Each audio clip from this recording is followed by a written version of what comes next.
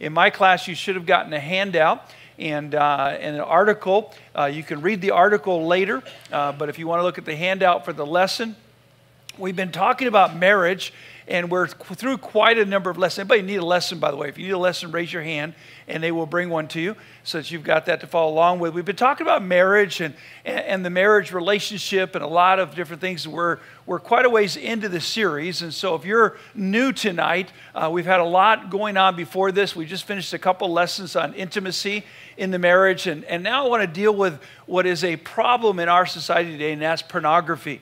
Uh, it is destroying a lot of marriages and destroying a lot of lives. And I think it's an important lesson to go through. If you're not struggling with it, I can guarantee you that there are people that you have a relationship with that are. And uh, I can guarantee you that your kids are going to face this battle and even more so than you and I. When I was a teenager, pornography around, was around. Pornography's been around since uh, before printing. They, they found uh, in different archaeological digs uh, pornographic things all the time, and, and, it's been around, but it's just gotten worse. When I was a teenager, uh, you had to go looking for pornography, and it was difficult to find, but it was there. Uh, today, it comes looking for you. It's on the internet, it's on the TV, uh, it's everywhere and uh, it's become mainstream. What was considered pornography in my day as a teenager is today considered uh, just normal. Uh, nowadays, uh, they have uh, whole TV programs that are dealing with lingerie ads and, and, uh, and models uh, putting that stuff on. You got Sports Illustrated. That would have been uh, in a brown wrapper behind the counter in my day, and now it's right out in front, and your teenagers get it in the mail. It, it's just gotten much, much worse. And this is a battle that your kids are going to face. They say that the average fifth grader has already been exposed to pornography. And you might be thinking, well, my kids are different. They aren't. Uh, you may control your home, and you need to. You need to control what's on your TV, you need to control what's on the internet, uh, but you can't control their whole environment. Even if they're homeschooled, they still got friends, and their friends have it, and their friend's dad has it, and, and it's out there, and they're going to be exposed to it, and you need to deal with it in your own life, and you need to deal with it in your young person's life as well. And of course, pornography is primarily uh, more so a man's problem. Uh, men struggle a lot more than women do although women are, are becoming more and more uh, in, in, addicted to it and uh, getting more into pornography, but it's, it's really not natural for a woman to, to be uh, uh leaning towards that. Uh, it's, it's more of a force type thing. It does happen, and there are some women that do struggle with it. Uh, usually, women, the pornography they struggle with is more in the way of reading or watching uh, things and such as that, but it's not as much as the nudity as it is the mental pornography, but it's there as well. And we need to deal with it. I want you to turn over to Proverbs chapter 6. Proverbs chapter 6, and look at verses 24 through 28. Proverbs chapter 6 beginning with verse number 24 down through verse number 28, it says, To keep thee from the evil woman, from the flattery of the tongue of a strange woman, lust not after her beauty in thine heart, neither let her take thee with her eyelids. For by means of a whorish woman, a man is brought to a piece of bread, and the adulteress will hunt for the precious life. Can a man take fire in his bosom and his clothes not be burned? Can one go upon hot coals and his feet not be burned? And, what has happened today is, is, is, is, a lot of people are being burned by pornography. And, and so, how can we deal with this issue in our life? Uh, men here today, there's not a. Uh, I don't believe there's a man in this room who at some point in his life has not struggled with pornography. Uh, I, I believe that the reality is 98 and probably 99.9% of men have been exposed to it at some point, at some level or another, and, and many men have struggled with it and it's a, it's a battle. And even today, if you have a good marriage relationship and you're a godly man and you love the Lord, it, it's still a battle because we're being it's being forced upon us as men. And ladies you need to understand that your men have to your husband has to battle this area in their life. Uh, even if they've um, they're, they're not into pornography it still is seeking them out. And so how do we deal with that? Number one there where there's smoke there's fire where there's smoke, there's fire. Uh, turn over to Romans chapter 1. Romans chapter 1. You see, the pornography is the smoke, and the fire is, is really a, a relationship problem. It's a relationship problem with God, and it's a relationship problem with our spouse as well. In Romans chapter 1 and beginning with verse number 24, it says, Wherefore God also gave them up to uncleanness through the lust of their own hearts, to dishonor their own bodies between themselves, who changed the truth of God into a lie and worship and serve the creature more than the Creator, who is blessed forever. Amen. For this cause God gave them unto, uh, up unto vile affections, for even the, their woman did change the natural use into that which is against nature. And likewise, also the men, leaving the natural use of the woman, burned in their lust one towards another, men with men working that which is unseemly, and receiving themselves that recompense of their error which was met. Uh, and even as they did not like to retain God in their knowledge, God gave them over to a reprobate mind to do those things which are not convenient, being filled with all unrighteousness, fornication, which is uh, the word here in the Greek is porneia, wickedness, covetousness, maliciousness, full of envy, murder, debate, deceit, malignity, whisperers, backbiters, haters of God, despiteful, proud, boasters, inventor of evil things, disobedient to parents, without understanding, covenant breakers, without natural affection, implacable, unmerciful, who knowing the judgment of God, that they which commit such things are worthy of death, not only do the same, but have pleasure in them to do them. Now, pornography is taking pleasure in them that do that. Uh, we may not commit adultery, but when you're looking at pornography, you are committing adultery in your heart, and you are taking pleasure in what you're viewing on that screen or reading in the book or whatever else it might be. And I want you to notice again what it says there in verse number 28 and even as they did not like to retain God in their knowledge. Um, what that's saying there is when we, when we don't retain God in our knowledge, we forget that God sees us. That God sees us. You see, most people, most men, would not look at pornography with their wife in the room. There are some men that have gotten to that point, they don't even care about that. But most of them, they do it at night when their wife's in bed or they do it when their wife's not home. Most teenagers won't look at pornography with their mom right in the room uh, they, because they don't want them to see what they're looking at. But we forget that God sees us when we're looking at that. And so we, we, we don't retain God in our knowledge. We forget that God sees what we're doing. And pornography is a symptom of a relationship problem. It's a symptom of your relationship not being right with God. And it's also uh, sometimes a symptom of your relationship not being right with your spouse. Um, now, pornography, a lot of guys will say, well, I look at pornography because my wife won't give me sex, and, and so I go there. And that's not the reason you're looking at pornography. It is a relationship problem. It's not a sexual problem, it's a relationship problem. Primarily, our relationship with the Lord, and secondarily, our relationship with our spouse as well. Uh, but where there's smoke, letter A is smoke there. Number one, smoke detectors. Smoke detectors. Uh, one of the things that you want to have is you want to have smoke detectors. Turn over Ezekiel chapter 33. Ezekiel chapter 33 and verse number 5. Most of you in your home, you have smoke detectors up on the ceiling. So if something catches on fire, uh, it will detect the smoke and sound an alarm and say there's a problem here. And, and we need to have in our lives today, I think it's good to have smoke detectors. In Ezekiel chapter 33 and verse number 5, it says, He heard the sound of the trumpet that took and took not warning. His blood shall be upon him, but he that taketh warning shall deliver his soul.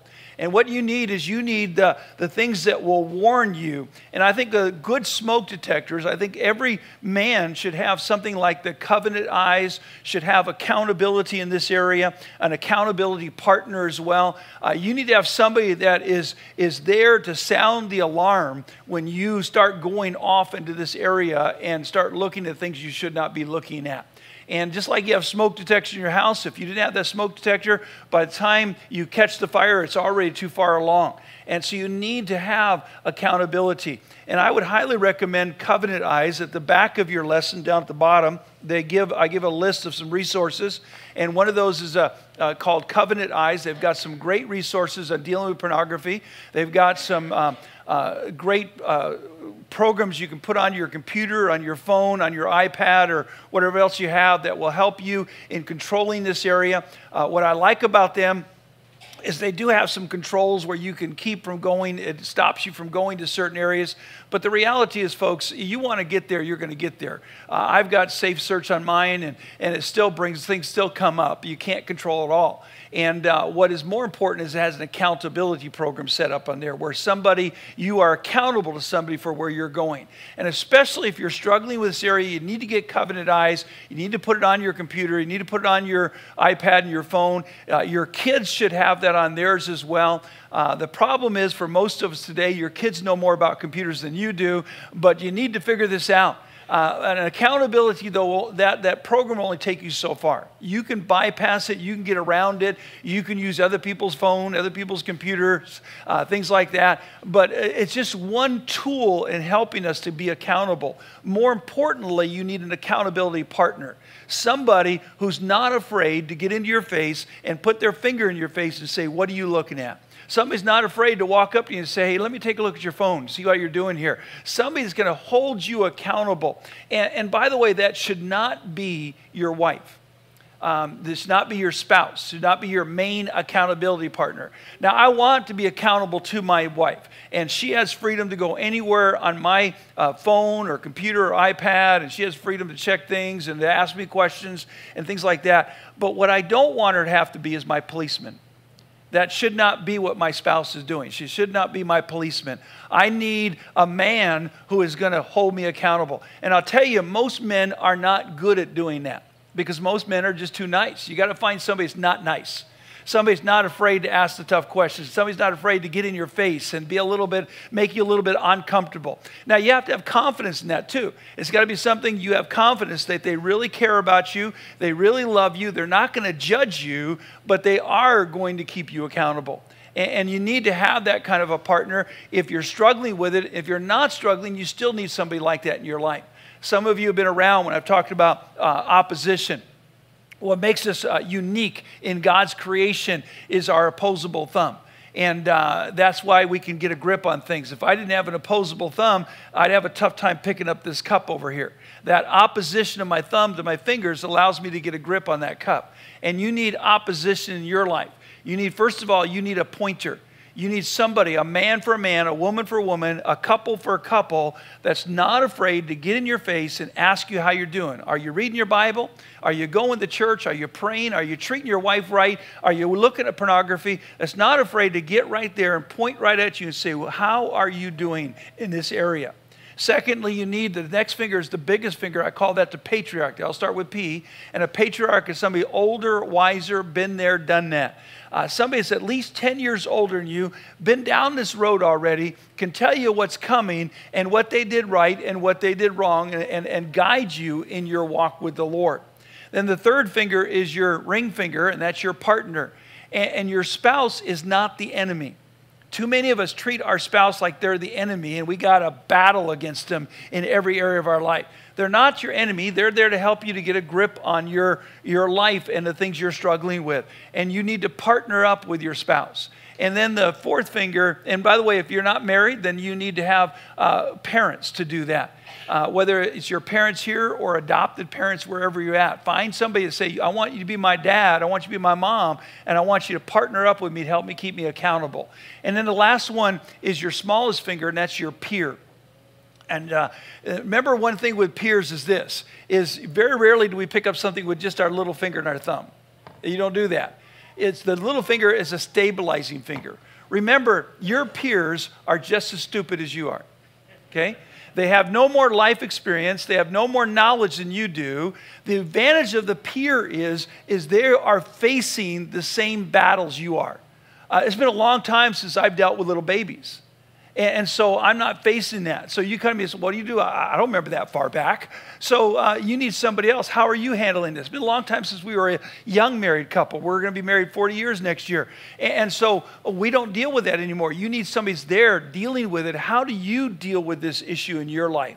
And a peer that you can be accountable to and somebody that can help you. But remember, don't listen to your peers over your pointer and your patriarch and your partner.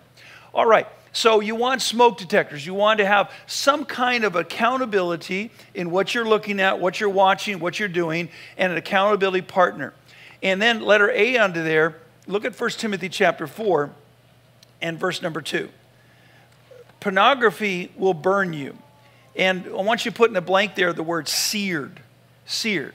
Have you ever seared your tongue? You, you, ever drank some hot coffee or hot chocolate or something like that? It was so hot, it, it burned your tongue and you couldn't taste anything for a while?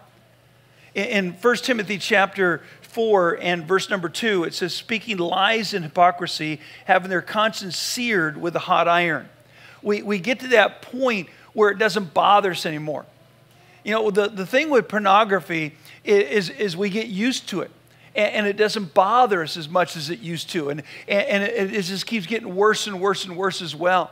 And, and, and we got to be careful that when you look at this, you become seared. And you become where, not seers, but seared. And you become where you just, it doesn't bother you anymore. I, I'm amazed sometimes. I'll have somebody come to me and say, Pastor, you got to watch this video and I'll say, well, okay, is, is, there anything bad in there? Like there's certain things we don't want in there. We don't want, you know, nudity. We want, you know, and we, I list some things out and I say, oh, no, it's great. And, and I'll go watch it and there's something in there I asked them about. And I'll go back to them and say, this, this, this, you told me didn't have this in there. Well, I don't remember seeing it. You know what the problem is? They were seared. They become used to it. They become comfortable with it. And, and you got to be careful of that.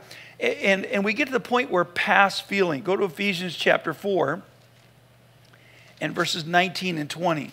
Ephesians chapter 4, verses 19 and 20.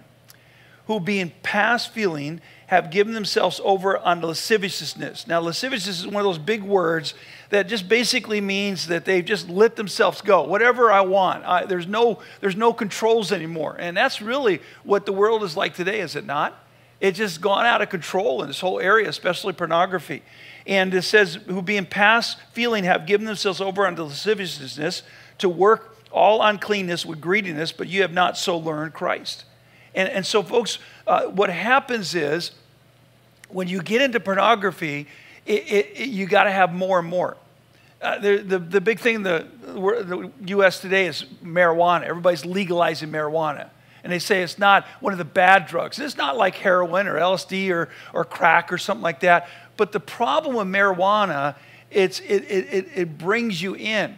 And after a while, it doesn't satisfy anymore, and you want more and more and more. And then you start getting to harder and harder drugs. And, and the same thing is true of pornography. It starts out, and, and you're just looking at kind of the Sports Illustrated swimsuit issue, and teenage boys are looking at the lingerie ads in the, in the magazines or in the newspaper. And, and then that doesn't satisfy anymore. Now they've got to look at topless ones, and that doesn't satisfy anymore. Now they've got to look at full nudity, and that doesn't satisfy. Now they want to see the act going on, and it just gets worse and worse and worse because you will never be satisfied. You know, if, if it, it was satisfied, you, all, all you would need is one picture for the rest of your life. But guys that are addicted to pornography, they got to look at picture after picture after picture after picture, and it just gets worse and worse and worse. It's, it's, it, and I, have dealt with this. I, have dealt with guys that started out pornography as teenagers, and now it's amazing how far they've gone to where they're doing things that are just totally crazy and, and ruining their lives. And because just it, it never stays, it just gets worse. It's kind of like the old Lay's potato chip commercial. I don't know if you remember that one or not. You can't eat just one. And folks, when you click on one site on the internet, you're going to probably find most times you're going to click on another and another and another because it doesn't satisfy. And it will never satisfy. And you just end up turn yourself over to it. It takes control in your lives. And, and that's what we need to remember. You know, the, the thing with smoke is a lot of times with fire, smoke will do more damage than the actual fire. Smoke will do more damage than the actual fire. Turn over to 1 Corinthians chapter 3. Before we moved into this building, we used to meet, if you know where Cycle City is down the road here, where Wendy's is at, there's a third building on there. It's got roofs that go like little humps on them.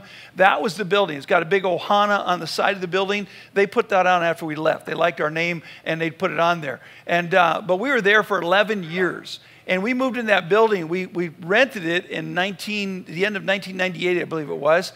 And uh, when we rented it, it was, um, it, it, had been, it was a disaster. I remember the first time we took the church people through there, and uh, we walked through that building, and, and you had to climb over piles of garbage. It had been empty for about 10 years, and, and there had been a fire in there because homeless had gotten inside, and they were living in there, and one of them had caught a section on fire, and uh, so there had been a fire inside there, so it was soot and ashes everywhere, and uh, people thought we were crazy, but they, they gave us two years free rent if we would take the place as is and fix it up ourselves. So we cleaned it up and, and fixed it up and did all the work on it. And the, the fire had only been in one small area, it, it hadn't done much damage, the fire itself.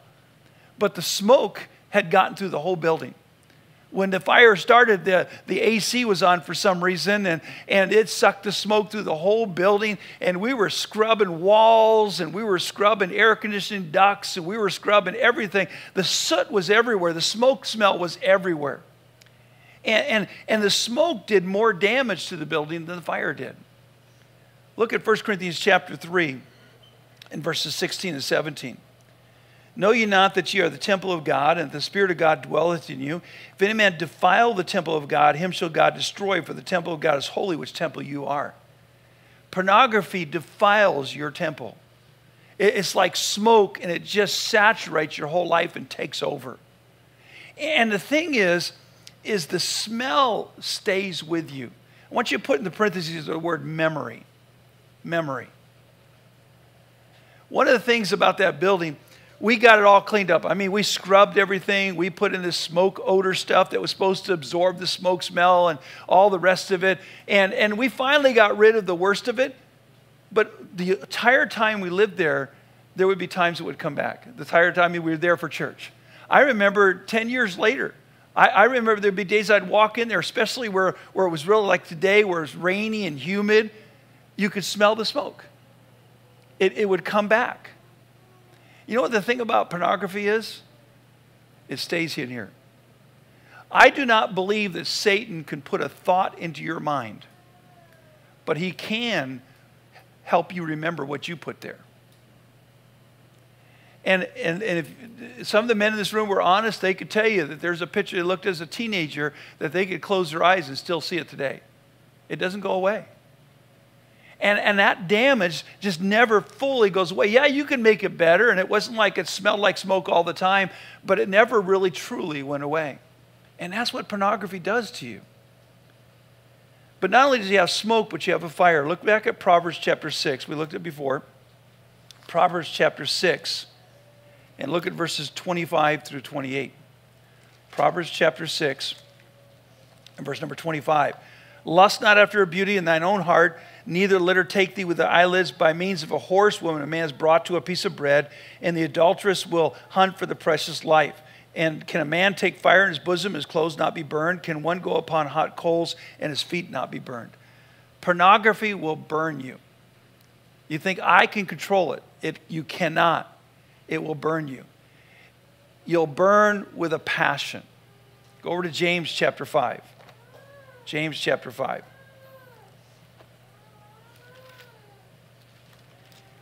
James chapter 5, verses 16 and 17. Bible says, Confess your faults one to another and pray one for another that you may be healed. The effectual, fervent prayer of a righteous man availeth much. Elias was a man subject to like passions as we are, and he prayed earnestly that it might not rain, and it rained not in the earth by the space of three years and six months. As I said earlier, I don't think there's a man that doesn't struggle with this to some extent because God built men to be visual. And Elijah was a godly man who loved the Lord. And, and you can be a godly man, and this is still a danger in your life. This is still an area that can take over in your life so easily. And, and passion is not bad. But what do we have a passion for? We talked about having a passion for your wife, having a passion for God. And when you have the passion for pornography, that's lust and you'll burn with lust. Letter A there, to burn with lust. Go over to Romans chapter 1. Romans chapter 1 and look at verse number 27. Romans 1 27. And likewise, also men, leaving the natural use of the woman, burned in their lust one toward another, men with men, working that which is unseemly, and receiving themselves the recompense of their error, which was meet. One of the reasons I think that homosexuality is so rampant today is because of pornography. Now, is everybody looks at pornography become a homosexual? No. Is everybody looks at pornography become a, a child molester? No. But I can tell you one thing every child molester started with pornography. Every rapist started with pornography. That's where it starts. Study after study have shown that. It's just like alcohol. Will everybody takes a drink become an alcoholic, a drunkard? No. One of the reasons that I don't drink, besides I believe the Bible is very clear that drinking alcohol is a sin, it's wrong, but one of the reasons I don't do it is because of the potential. My dad was a drunkard. He did not take his first drink thinking, I want to wreck five cars. He did not take his first drink thinking, I want to lose about a half a dozen jobs. He did not take his first drink thinking, I want to beat my wife and beat my kids and end up divorced. He didn't take his first drink expecting any of that. But he became an alcoholic. And I don't want to take that drink because I don't know the potential that I have. And if it's not me, what about the ones that follow me? Maybe I can handle my alcohol, but my kid can't or my grandkid can't. What kind of testimony am I to them? And pornography is one of those things that will, will take over in your life, and it's a fire that, that will just take over and burn in your life. Verse 32 to, that have pleasure in them that do them. So we need to be careful in this area. 1 John chapter 2, verses 15 and 16 says, Love not the world, neither things are in the world. If any man love the world, the love of the Father is not in him. For all that is in the world, the lust of the flesh, and the lust of the eyes, and the pride of life is. Um, uh, and uh, I'm sorry, I lost my, my train of thought there. Pride of life uh, is not of the Father, but is of the world. One of the things that we need to understand is if you're struggling with this area of pornography, like a lot of sins, what we do is we're constantly mopping up the mess rather than fixing the leak. leak. See, pornography is going to make a mess of your marriage, it's going to make a mess of your life, it's going to make a mess of your family. And what happens is we just keep mess, mopping up the mess instead of plugging the leak. And one of the things you need to look at if you're struggling with this area is where is it coming from? And the Bible says there's three sources of temptation lust of the flesh, the lust of the eyes, and the pride of life. Now, the lust of the flesh is in Galatians chapter 5 and verses 17 and, and 19. The Bible says, For the flesh lusts against the spirit, the spirit against the flesh, and these are contrary the one to the other, so that you cannot do the things that you would. Verse 19 Now the works of the flesh are manifest, which are these adultery, fornication, uncleanness, lasciviousness. A lot of people I deal with who struggle with pornography love the Lord, and they really want to do what's right. But this battle's going on between the spirit and the flesh. And I tell you who's going to win. It's the one you feed the most. And, and, and a lot of times the flesh just takes control in our lives and it takes over in our lives. In, in Matthew chapter 26 and verse number 41, Jesus said, the, the spirit indeed is willing, but the flesh is weak. And we struggle with this flesh. And, and for many people, the pornography temptation comes from the, the flesh struggle. It's the desire. God built into man and into woman as well a desire for the sexual relationship. And, and for men, especially, built into the, the, the, the, the, the visual aspect of that. And so men struggle often with, with the, the flesh side of it and that, that physical desire and, and, and the wanting to relieve that, relieve that desire and, and the lust of the flesh. Now, a lot of times men will say, well, the reason I look at pornography is because I, uh, either I'm not married or my wife doesn't have sex with me. Uh, that's not an excuse. God does not give that excuse in the Bible. And, and, and we need to understand that many times the struggle in this area is because of the lust of the flesh, and it, you need to identify if that's what it is. I, I, have a sermon I preach called the Big Gulp Sermon. I, I like sodas and, uh, and they're not good for me. My wife doesn't like me to drink them, so I try not to do that. But when I, when I buy a soda, sometimes I'll buy it because I'm thirsty. That's the lust of the flesh. I'm thirsty, so I go get a soda to drink. And, and, and sometimes it's the lust of the flesh that causes you to look at pornography. But there's a second reason, that's the lust of the eyes. Look at 2 Peter chapter 2 and look at verse number 14. 2 Peter chapter 2 and verse number 14. It says, having eyes full of adultery and that cannot cease from sin, beguiling unstable souls, and heart that they have exercised with covetous practice, cursed children. Some guys, it's their eyes. It just gravitates to women on the TV, on the internet, on the street. They're just constantly looking. And as I told you before, there's a good book called uh, Every Man's Battle. And in that book, he talks about, uh, he uses the term bouncing your eyes. And, and I use the term not focusing. Is don't make, make it a habit. You see a woman, turn away. Whether she's dressed modestly or immodestly, doesn't matter. If you see it, turn away. Uh, you know, if I see a woman, especially a woman dressed immodestly, I turn my eyes away from it. I, I, do that for two reasons. If we're sitting watching TV and some woman comes on there that's not dressed very modestly or whatever, uh, a lot of times I'll flip the channel. I found out the problem is you flip the channel, the next channel is just as bad. Uh, and so that's the problem there. But uh, if nothing else, I'll, I'll at least turn my eyes away from it. And I do that for two reasons. One, because I don't need to be looking at that.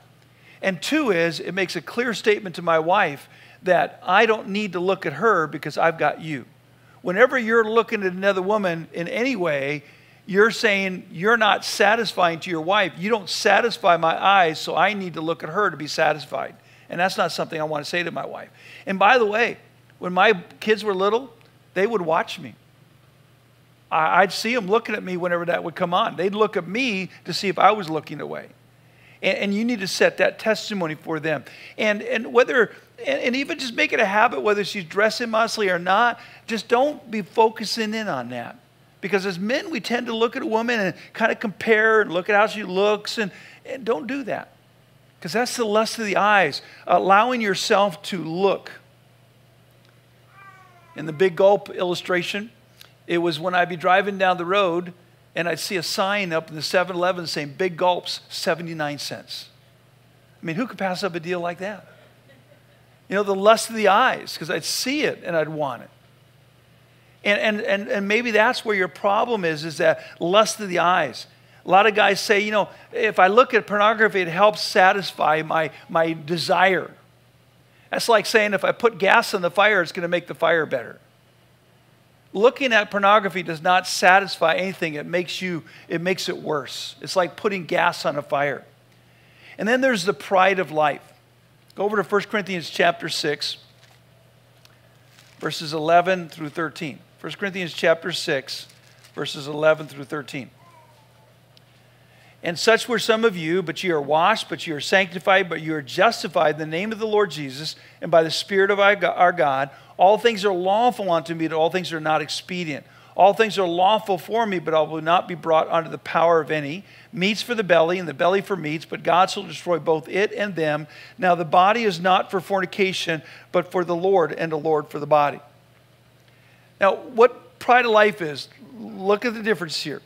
The lust of flesh is that physical desire, the mental and physical desire to look at a woman. That's the lust of flesh. And, and you've got to battle that. Now, having a good, positive sexual relationship with your wife helps, but not having a good, positive sexual relationship is not an excuse. So if you're single, that's not an excuse. If you're away from your wife, or I'm TDY for six months, it's not an excuse. You've got to deal with it. And you've got to, you can't let the flesh control you. You've got to control the flesh through the power of the Spirit of God. You see, well, how do I do that? But one, by staying busy. Um, we have work days here at the church, and I'll usually get down here about 6.30, 7 in the morning. And a lot of times I don't get breakfast because it's so early in the morning. I just come straight down here. And, and, then we're working all day long, and I don't have lunch. And, and it'll be 5 o'clock, and all of a sudden I realize I haven't eaten. And it wasn't a problem. But then if I'm home, like Mondays is my day off, if I'm home on Mondays and I'm not doing anything, at 10 o'clock, I'm starving to death. What's the difference? Staying busy. You know, there are things that you can do. You know, the old adage, take a cold shower, and maybe that helps. Uh, that's not the only thing there. But the thing is, you've got to say, who's bigger, God or my flesh? Who's going to control me? It's letting the Spirit of God control you. Part of it is the Word of God. Thy word have I hid in my heart that I might not sin against thee, and, and letting the Word of God take power in your life. But you've got to not let the flesh control you. because the flesh says, I want to look at that. I don't know about your flesh, but that's what my flesh says.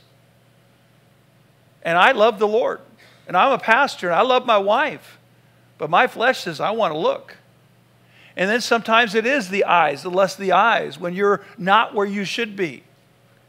On the internet late at night or flipping through and just kind of surfing the internet or watching things on TV, especially some of the, the channels like HBO and such as that. Uh, you you got to control the lust of the eyes. You got to control where you're at and what you're looking at and, and, and not let that happen. But the pride of life is the hardest one to control. The pride of life issue is more of the sense of struggling with my own desire. Using the big gulp illustration again. There's times I would go buy a soda because I was thirsty. Now, how can I battle that? Drink water. If I drink water, I'm not going to be tempted to have a soda by the lust of flesh because I've already satisfied the thirst. The lust of the eyes, driving by the 7 Eleven, see the big sign says big gulps, 89, 79 cents. Uh, how can I deal with that? Don't go that way. Don't go that place. Don't look at it. But the pride of life, this is when I would go buy a soda, you know, a 32 ounce soda, and I drink about that much of it, and I didn't want any more. Because I wasn't thirsty. There wasn't a 7 Eleven in sight. I had to drive out of my way to go get it. I just thought, I deserve a break today. You only go around once in life. You know, grab all the gusto you can. That's the pride of life. And, and the pride of life challenge is this it's in the verses we just read. It says, Well, the meat for the belly is the belly for the meat. God made me with an appetite and I eat food. God made me with a sexual appetite, so I should be able to have sex when I want, right? Or look at pornography. Have you ever noticed on your car how high does the speedometer on your car go to? 100, 120 miles, 140 miles, some of them? Does that mean you can drive 120 miles an hour? No, just because you can do it doesn't mean you should. Yeah, you've all got in your pocket or your purse, you've got a driver's license. Now, you try this experiment. You leave church, I want you to go on the freeway, hit 120 miles an hour. When the policeman pulls you over, you pull out your driver's license. I have a license and see how far that's going to get you with that ticket. Is this a license to speed? Is this a license to speed? No. It's a license to obey the law.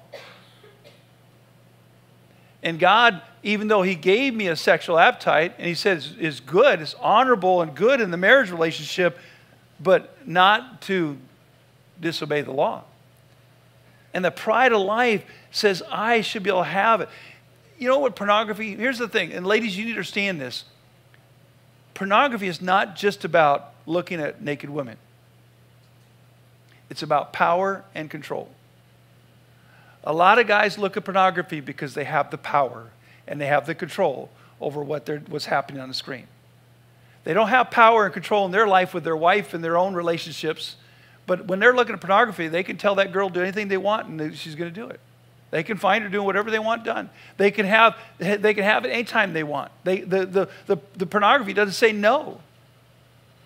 It's about power and control as much as it is about lust. And it's the pride of life. Some people, some guys look at pornography eh, because of depression. You know, some people are depressed, they eat food. Some guys, when they're depressed, they look at pornography. Or it's anger. They're mad at their wife, they're mad at the world, and so they look at pornography.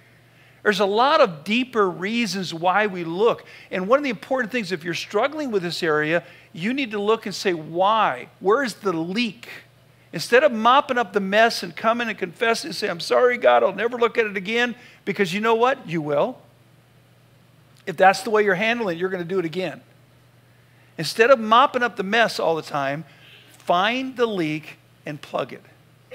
Is it the lust of the flesh? Is it the lust of the eyes? Is it the pride of life? It's usually a combination of the three, but there's one that's kind of leading it. That's kind of taking control in that area. And we've got to we got to plug that leak. Because what happens is pornography will never satisfy you. Go over to Proverbs chapter 30. Proverbs chapter 30. In verses 15 and 16. Proverbs 30, verses 15 and 16. The horse leech hath two daughters, crying, Give, give. There are three things that are never satisfied, yea, four things say not, It is enough. The grave, the barren womb, the earth that is not filled with water, and the fire that saith it is not, it, it is enough. The eye that mocketh his father, despised to obey his mother, the ravens of the valley shall pick it out, and the young eagles shall eat it. These things are these three things which are too wonderful for me, yea, four which are which I know not. And he goes on the way of an eagle in the air, and the way of a serpent upon the rock, and the way of a ship in the midst of the sea, and the way of a man with a maid. See, the thing is, is, is there's no satisfaction in pornography. You look at it, and you're going to want it again, and you're going to want it again. You can't look at it and say, okay, I'm satisfied now. Look at Proverbs chapter 27 and verse number 20. Hell and destruction are never full, so the eyes of man are never satisfied. Pornography will not satisfy you. You've got to have more and more and more. What pornography does, by the way, pornography is addictive. It becomes addictive in our lives where we got to have it and then we want more and more and more. But what it does is it creates a loss of desire. Look at Proverbs chapter 27 and verse number 7. The full soul loatheth the honeycomb, but to the hungry soul every bitter thing is sweet. Some guys will say, Well, I look at pornography to make my sex life better. No. I've counseled over and over again, I see it all the time. It leads to a loss of desire for your wife. More desire for pornography, but a loss of desire for the natural sexual relationship within the marriage. In Proverbs chapter 5, it says that we're to be satisfied with the breast of the wife of our youth. But how can you be satisfied with her when you're looking at all these other women's breasts? It won't satisfy you. Looking at other naked women is not going to make you satisfied with your wife. It leads to a loss of desire in your marriage relationship. There's a stimulus response pattern that's built up. This is one of the things, especially for you young men here. You think, you know, I can do this now. When I get married, it'll be different. What happens is when you're pornography, and then with the pornography, you, you self indulge, you create a stimulus response. You know what you want that your wife can never duplicate because she, doesn't, she can't read your mind. They have done studies now and proven that erectile dysfunction, there's something called PIED, pornography induced erectile dysfunction. They found that men that look at pornography for years and years and years, it creates that problem for them. It doesn't make it better, it leads to a loss of desire. It takes away the secretness and the sacredness of the marriage relationship in Hebrews chapter 13, verse 4, it says the marriage bed is undefiled and honorable. And it talks about in 1 Corinthians chapter 7 having your own wife and your own husband. It used to be that when a couple got married, that was the first time they ever saw somebody of the opposite sex naked. And today, we've seen everything before our honeymoon. And, and part of the blessing of the marriage bed is the secretness and the sacredness of this is the only time I see somebody naked. And this is just for us and nobody else. And that's lost.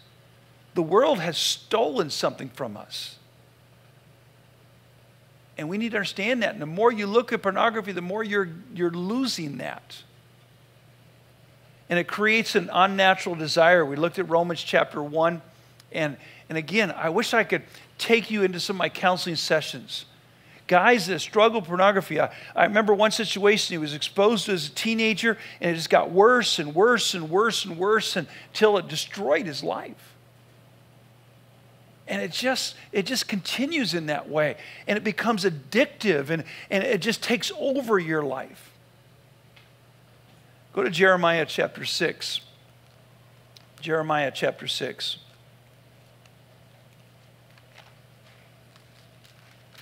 What we need to do is we need to burn with shame. In Jeremiah chapter 6 and verse number 15, the Bible says, Were they ashamed when they had committed abomination? Nay, they were not at all ashamed, neither could they blush. Therefore they shall fall among them that fall. At the same time that I visit them, they shall be cast down, saith the Lord. You know what we've lost the ability to do today? Is blush. We're not embarrassed. We're not ashamed anymore. Now, there's a difference between being embarrassed and ashamed. In Genesis chapter 2, Adam and Eve realized that they were naked. And there's a difference between being embarrassed and ashamed. You know what's amazing to me? If I were to walk in by accident, let's say you know we're at the mall and trying on some clothes, and I walk in a dressing room, pull the screen open, and there's a woman that's changing clothes right there, and she's in her underwear, she would scream. But that same woman would have no problem going on the beach wearing less than that. See, there are certain things that, yeah, it would be embarrassing. It'd be embarrassing to have somebody walking me changing my clothes. It'd be embarrassing to, and it's embarrassing to talk about your sexual relationship. Uh, it's embarrassing to, uh, to have to go to a doctor and have exams done. Those things are embarrassing. But we ought to be ashamed. Ashamed to look at these things, ashamed to expose ourselves. I, I talked about before about that secretness, and God talks about the secret places. And, and basically, there's certain parts of your body that are supposed to be secret only for your husband, only for your wife. And I believe that's pretty much from here down to here. That's the area that God says this is secret and sacred for your marriage partner. And yet there are women who will expose it to the world. And men, we ought not to be looking at that. You see, again, it gets worse. Go to Ezra chapter 9. Ezra chapter 9. And verse number 6.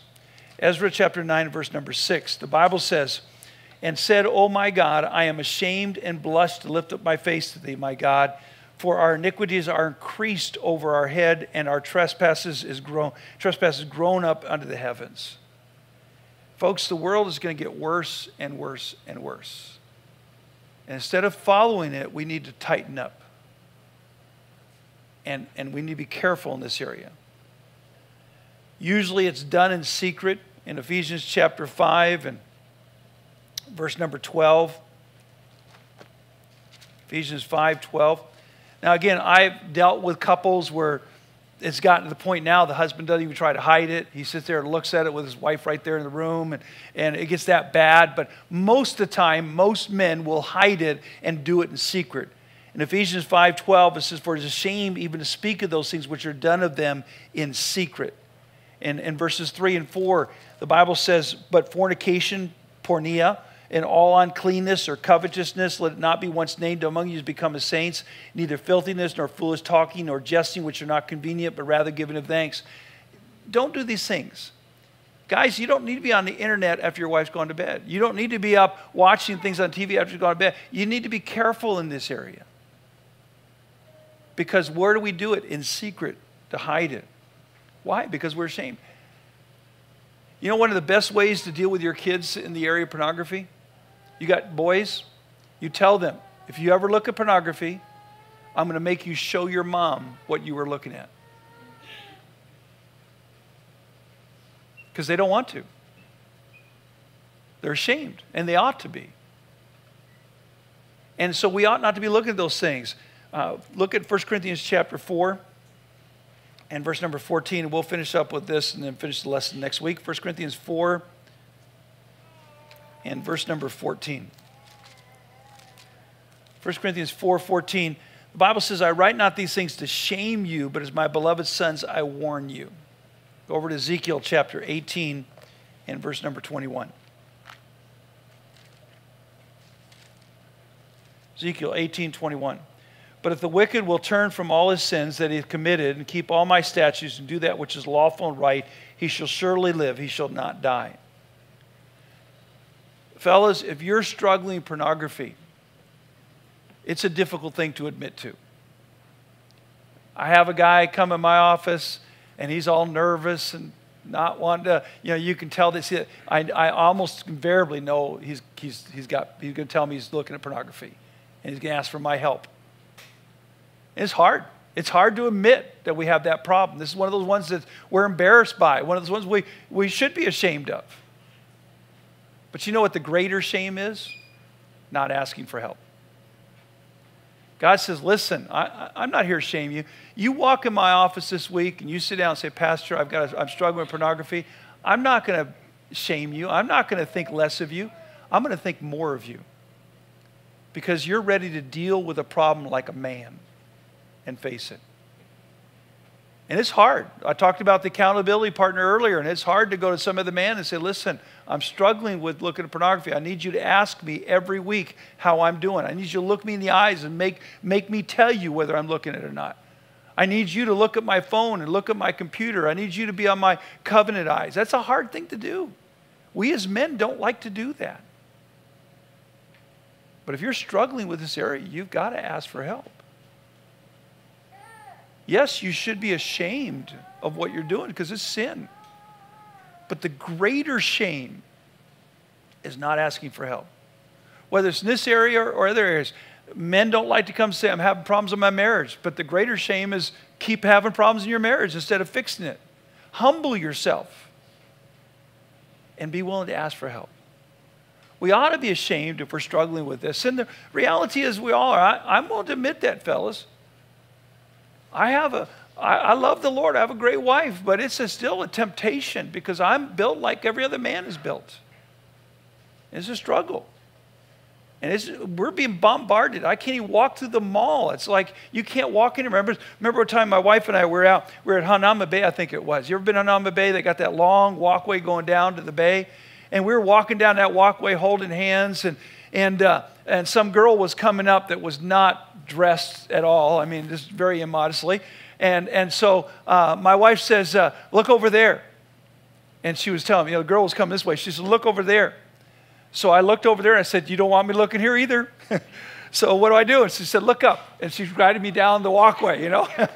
and, uh, but uh, it was, that's the problem. You turn from one channel, it's on another channel. You, you look from one girl and it's over here on this other girl. You're, you're on the internet and you, you, you, you site pops up and you switch somewhere and it's on somewhere else. It's just constant bombardment. And I, it's a struggle. You know who I feel sorry for? Is our kids. Because it's not going to get better. Is TV getting better? Every year it gets worse. Is the internet get better? It gets worse. It's not going to get better. I feel sorry for my kids just walking out in public. I mean, everything. And it's a struggle. And, fellas, it's a battle that will never end. It's like the war against terrorism. We will never win that war, but we cannot lose it. And pornography is a war we can never win in a sense, it's always going to be a battle. It's always going to be another internet site, another TV program, another girl walking down the street. It's always going to be a battle. But it's one we cannot afford to lose. And you've got to get the victory over this. You've got to deal with it. Whatever stage you're at, say, I'm going to get victory over this and I'm going to change it. And if you got kids, don't wait until they're 16, 17, 18 to deal with this because they're being exposed at fifth grade level now and even younger. And you've got to deal with it. One thing you've got to do is be willing to tell them, be honest with them. It's hard to talk to your sons and say, listen, I struggle with this. But they, you need to be honest with them, you need to be open with them, you need to talk about this because if you don't, the world is. And the world's going to give them the wrong information. There's some resources at the end of your lesson that you can go to, some books, some websites. Um, there's also a couple of, uh, if, for TV, there's VidAngel, which will censor your um, programs you watch, and there's also PureFlix, which has only good programs on there. Um, you still got to use discernment, but uh, they're helpful resources. They're not going to solve the problem, but they're another tool to use to get victory. All right, we will continue this next week. Again, if you're new tonight with the class, uh, I apologize. It's kind of a hard one to start out on when you're new to it, but it's an important lesson that uh, I, I just I can't avoid because it's it's a battle, and I want you to have that victory. Let's go ahead and stand for dismissing a word of prayer.